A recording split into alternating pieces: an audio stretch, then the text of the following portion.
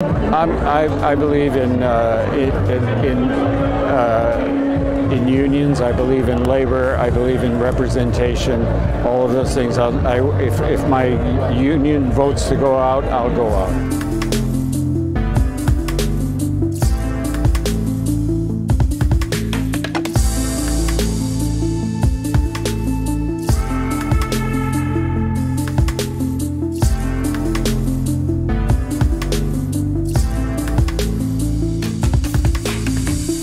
Look, uh, there, there is parity to be achieved. Uh, there's a, a, situation that is